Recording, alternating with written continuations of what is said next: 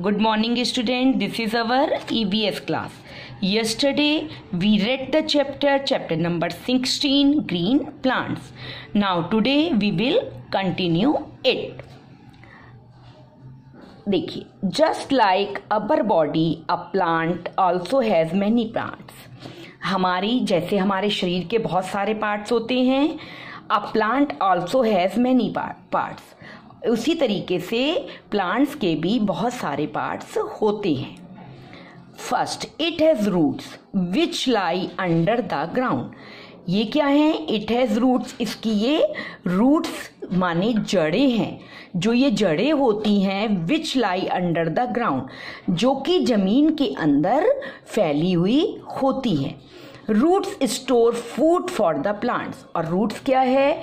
जो प्लांट्स का भोजन होता है, वो स्टोर करता है। आप जो भी प्लांट्स के लिए मिट्टी में खाद वगैरह डालते हैं, वो सब क्या होता है?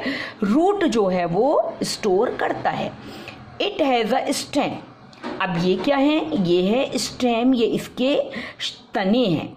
The stem holds up the leaves and flower of the plant और जो स्टेम होता है, वो प्लांट्स की लीव्स को और फ्लावर्स को होल्ड करके, पकड़ के रखता है। It has branches on its stem जो स्टेम की क्या है, ये देखिए, ये क्या है, ये ब्रांचेस कहलाती हैं। ठीक है? ब्रांचेस शाखाएँ कहलाती हैं। The branches bear leave flower and fruits जो ब्रांचेज हैं, उन पर क्या क्या होता है? लीव्स ब्रांचेस पे देखिए लीव्स निकलती हैं एंड फ्लावर उस पर ही फ्लावर होते हैं और उस पर ही फ्रूट्स भी होते हैं। The leaves make food for the plants और जो लीव्स हैं, वो क्या करती हैं? प्लांट्स के लिए भोजन बनाती हैं। Plants need air water sunlight and soil to grow plants किसके लिए, को किस किस चीज़ की ज़रूरत होती है? एयर, हवा, वाटर, पानी सनलाइट सूरज की रोशनी and soil to grow plants को बढ़ने के लिए एयर वाटर सनलाइट और सॉइल की ज़रूरत होती है। अब ये देखिए इन अ नटशेल आपको पूरे चैप्टर में आपने क्या क्या पढ़ा, वो एक छोटा सा उसका नट शेल में आपको बताया हुआ है। There are different types of plants आपने पढ़ा कि प्लांट्स कितने बहुत तरीके के होते हैं। Big and strong plants are called trees जो बड़े और छोटे प्लांट्स होते हैं, वो ट्रीज कहलाते हैं।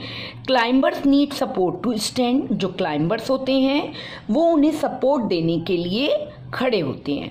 Plants that grow along the ground are called creepers और जो प्लांट्स को ग्रो अलोंग ग्राउंड में, ज़मीन में नीचे करने के लिए फैले होते हैं, वो क्या कहलाते हैं?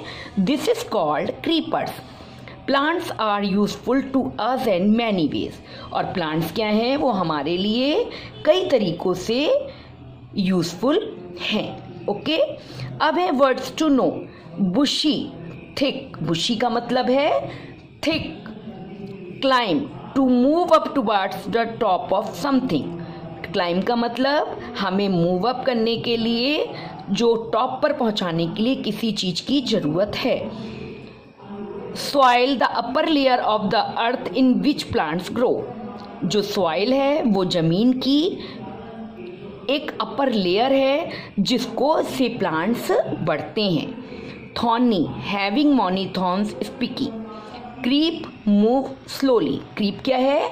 वो धीरे धीरे बढ़ते हैं। Okay do you understand write down this words in your notebooks thank you and have a nice day